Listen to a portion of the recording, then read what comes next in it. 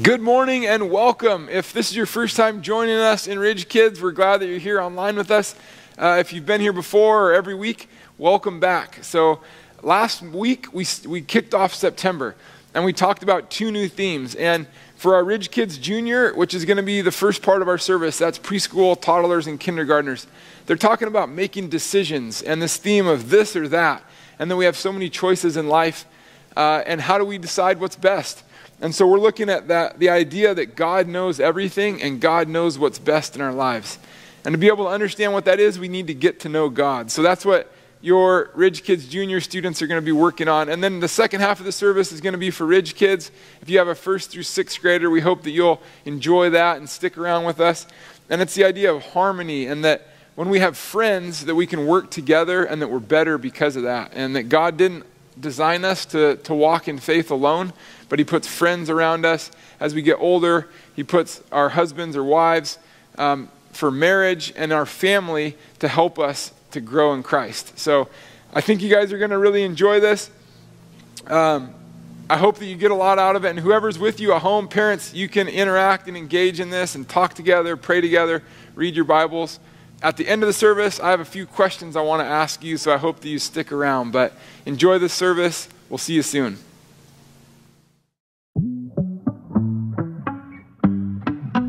You move my feet Forever I am marching to your beat. I lift my hands. Forever I am trusting in your plans, your plans, yeah. See me through. Oh, I'll trust in you. I'm running free because of who you are. You're lighting me, it's shining like a star.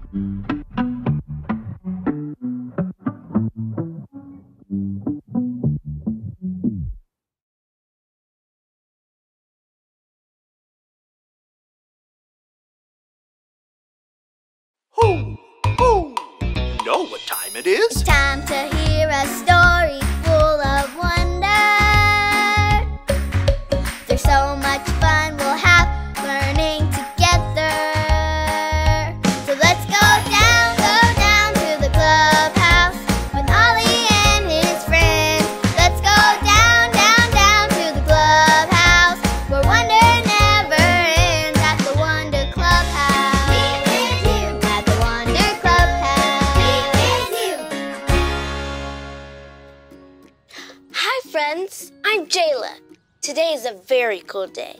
Do you want to know why? Because today I'm going to be doing an awesome science experiment. Do you want to do it with me? Great. These are the directions. They tell us exactly what to do. Let's see what they say. The directions say we need a plate. Check. Next, we need some water. Next, we need some pepper.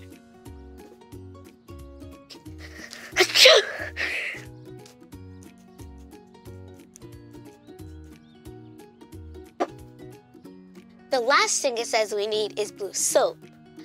But I don't have any. But I do have blue paint.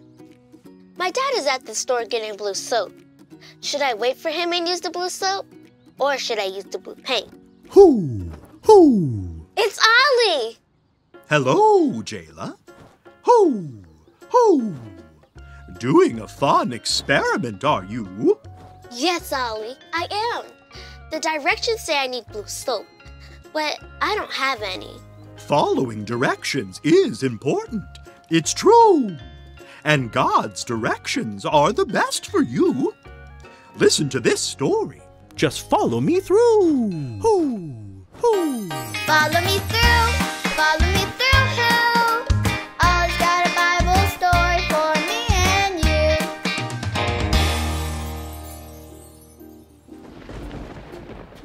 Oh, hi, friends. I'm Justin the Mailman, and I have a great story for you today about making choices.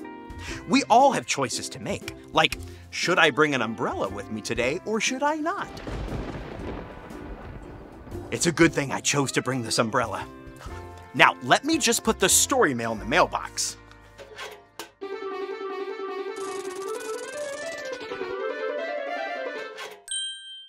Today's true story from the Bible begins with a man named Pharaoh.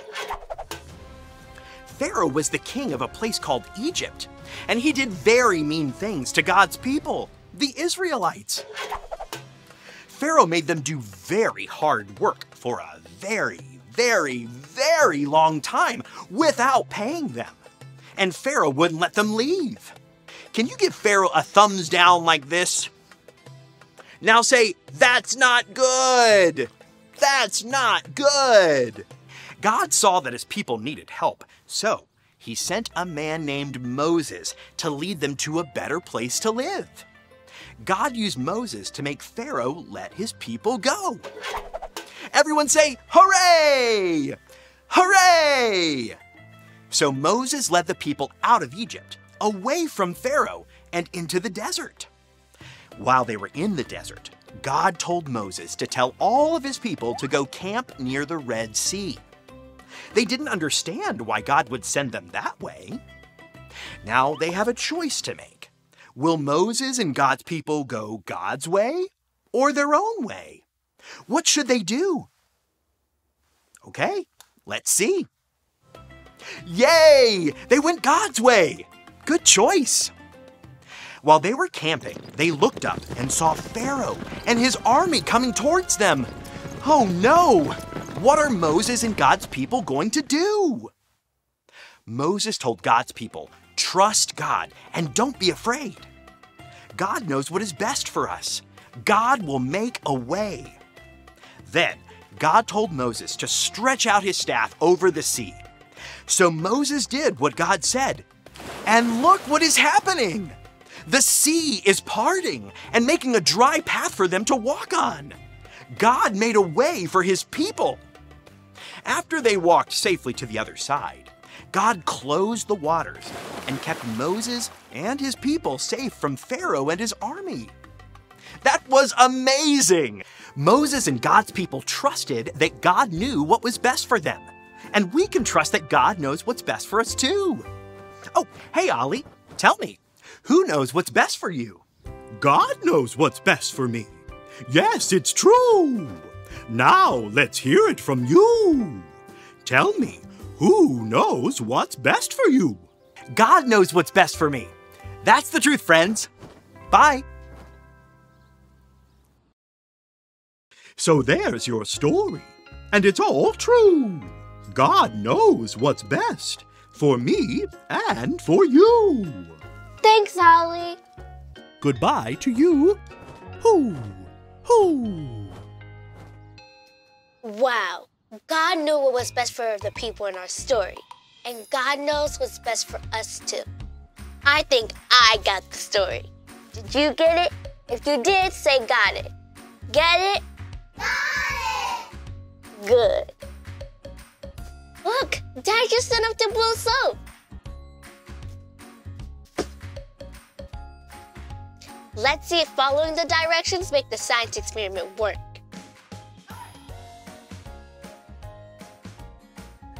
Yes, it worked. I can't wait to tell my friends about it. See you next time. Bye.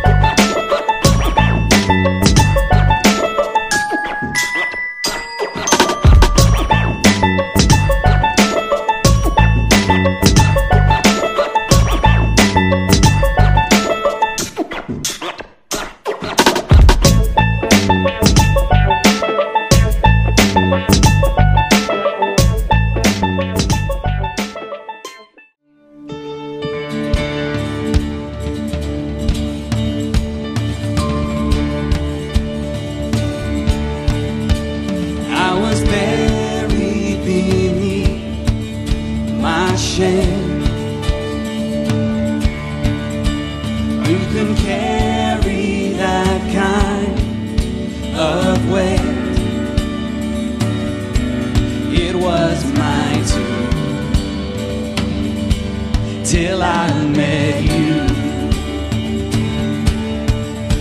I was breathing but not alive. All my failures I tried to hide. It was my turn till I met come.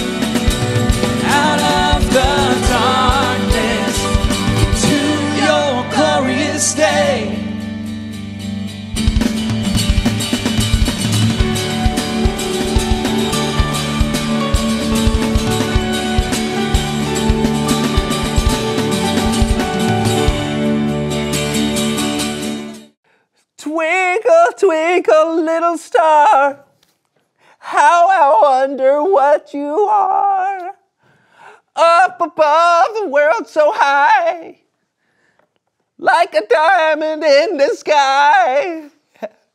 Twinkle, twinkle, little star, how I wonder what you are. Yeah. Oh, wow. That was, uh, a little flat. Yeah, it, it was, uh, No, no, no, no. Here, here, let's play it back. please don't. No, no, no, no, no, no. It's okay. It's an auto tuner. Yeah, it'll John, be great. no amount of auto tuning is going to fix. Twinkle, twinkle, little star, how I wonder what you are. Cry. I wish I could hear it. I have no headphones.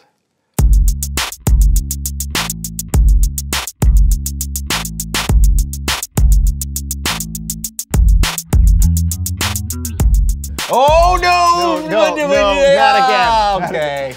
Hello, everyone. I'm Brandon. I'm John, and welcome, to, the So and So Show. What a show we have for you today. Yes. Oh yes. Yes. Yes. Yes. Are we forgetting something? Feels like it, doesn't it? Yeah. Did you get peanut butter? Check, Two jars. check, check. Did you binge all 10 hours of the new season of Professor Gamma and his search for meaning? Check. Uh, did you comb your hair? Check. Hmm. Did you write a letter to your pen pal in Cedar Rapids? Check. Did you pay your water bill? Check. Hmm. Did you do your morning uh, stretches? Check. I mean, what is it?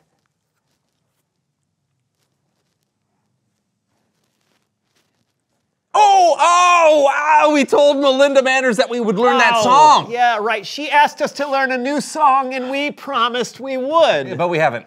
Yet. Yet! So let's get to it before she gets here. How hard could it be? Yeah. Yeah. Oh, uh, do, do you know where the music is? Oh, uh, yeah, I think I have it around here somewhere. It's not on the Rock'em Sock'em. Did somebody say manners? Melinda! Welcome back! How? Welcoming with words is something I commend, but welcoming with actions can prove you are my friend.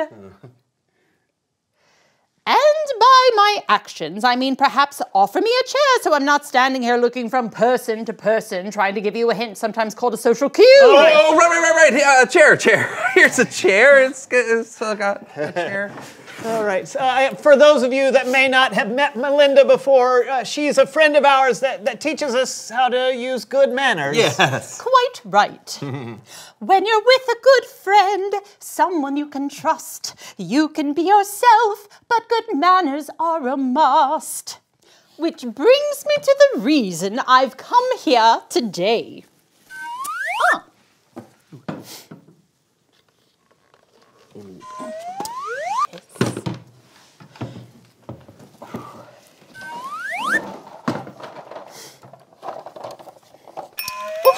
I have been looking for that. Ooh.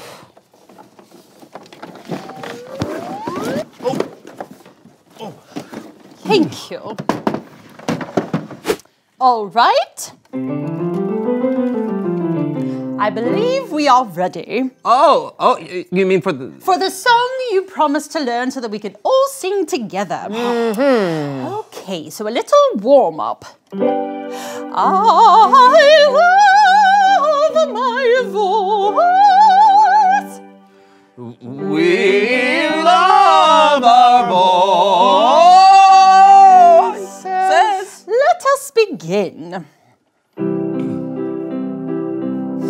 When I think of friendship, that's when you come in. I sing, When I think of friendship, and you sing, I think about you. Think about you, Yes, of course. yes. Yeah, I must have slipped Yes. my. Uh-huh. Yeah, yeah, we got it now. Quite all right. Once more.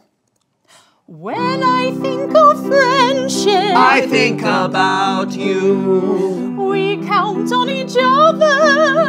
It's true. So true. true. Did you not like the original lyrics? Oh, no, I mean, Hey, I think, I think. No, quite all right. I think I like it's true, so true. We can rehearse something different. I just thought. We count on each other like a new pair, Pair of shoes. Shoes. Yeah, yeah, yeah. The original lyrics are way Yeah, better. I don't- totally. We should have. Good. So we'll go from the top. Let's do it. When I think of friendship, I think about you we count on each other like a new pair of shoes. piano solo.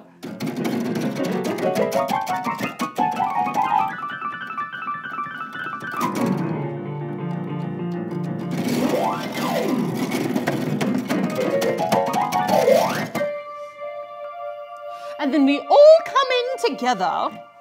It's important to remember whether December or September that a friend's a friend's of course, no matter if your voice is hoarse. We promised we'd learn this song, but it's quite clear we're totally wrong. We're just going to keep singing, pretending that we know what we're doing, but we actually have no clue. And now we look like a couple of buffoons. Ah. Well, I must I am a bit disappointed. Are you all right? I'm fine. Melinda, I'm sorry. Yeah, we we promised you we'd learn this song and, and we forgot. I, Thank you for your apology. But I do think it's time for my next appointment. Excuse me. Oh, man, I feel terrible. yeah, I don't know what to do. Well, I know a good place to start. Time machine. No. Bible story time with Kellen.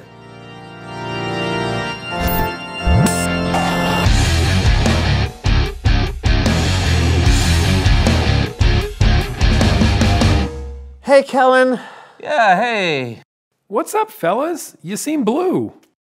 Yeah, we just we just let down a friend of ours, and, and we're wondering if you can help. Yeah, we, we promised her we'd do something for her, and we didn't do it. Oh man, that's tough. You know, I don't know if it will help everything, but I do have a story about a couple of friends from the Bible that went through some tough times together. That sounds good, Kellen. Take it away. All right. Our story today is about one of the more famous people from the Old Testament, David. What's going on? I'm David. Now, David had done some incredible things for Israel. He had defeated the giant Goliath in battle, and he was made a leader by King Saul. But King Saul eventually became jealous and did not care for David. Uh, I'll get you, David! Arr! In fact, Saul wanted to kill David. Die, David!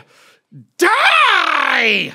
Um, yeah, King Saul was a very angry dude, which is why this next part is so crazy. David's absolute best friend in the whole wide world was King Saul's son, Jonathan. Well, hello to you. Name's Jonathan. One day, David went to talk to Jonathan. Hello, bestie. My father wants to kill you. Oh. Tomorrow, hide in a field. I will bring my father and then tell you what I find out. Brilliant. The next day, Jonathan talked to his father, King Saul, and Saul promised not to kill David. But sometime later, while David was playing his harp, suddenly King Saul flew in with a rage. He threw a spear and tried to kill David. Uh oh. After running from Saul for some time, David found his best friend Jonathan. Your dad is trying to kill me. I promise I'll find out what my father's going to do. But promise me your friendship. Be kind to me as long as I live and never stop being kind to my family. I promise. Days later, Jonathan discovered that his dad really did want to kill David. So Jonathan gave his friend the terrible news. David! Jonathan. Go in peace. We have promised to be friends. God is a witness between your children and my children forever.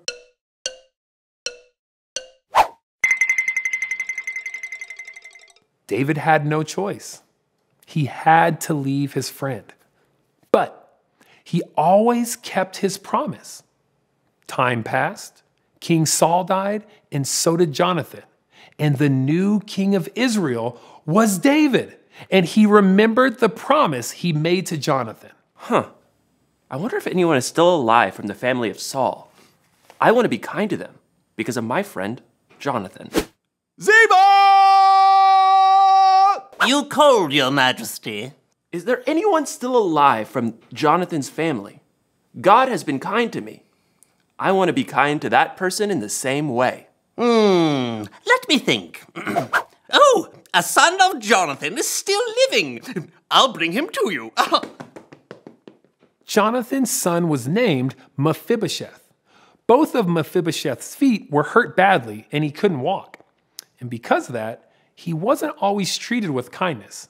But David had Mephibosheth's back and he brought him in to give him some pretty incredible news.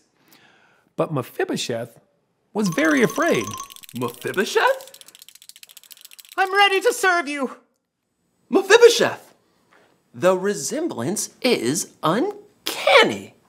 I will be kind to you because of your father, Jonathan. And I want to give you back all the land that belonged to your grandfather, Saul. And I will provide whatever you need. What? Why? Your father, Jonathan, was a dear friend.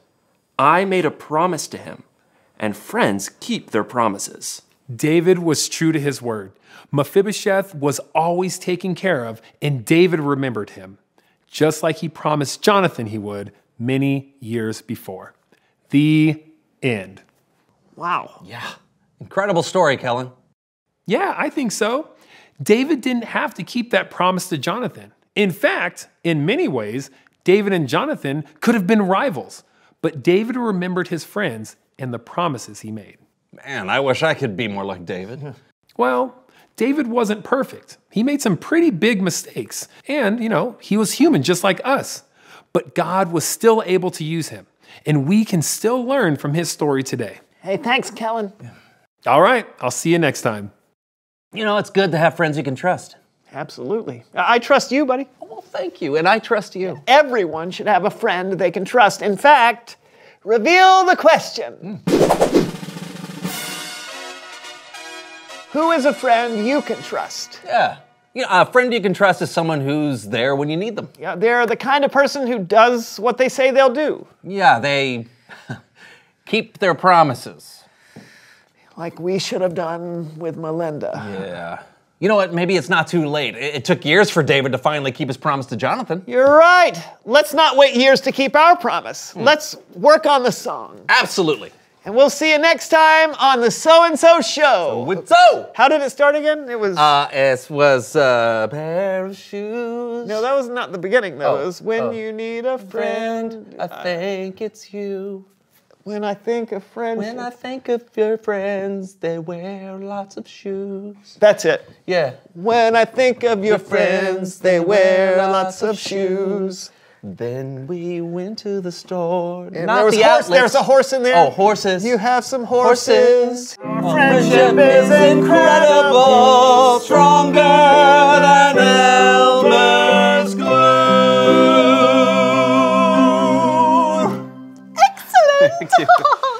That was exactly the way it sounded in my head.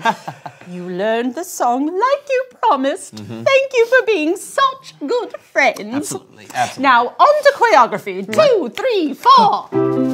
Kickball change, Oh. kickball change, shot pataroo pataroo Soda shot, soda shot. PK turn, PK turn. I don't know any preacher's kids.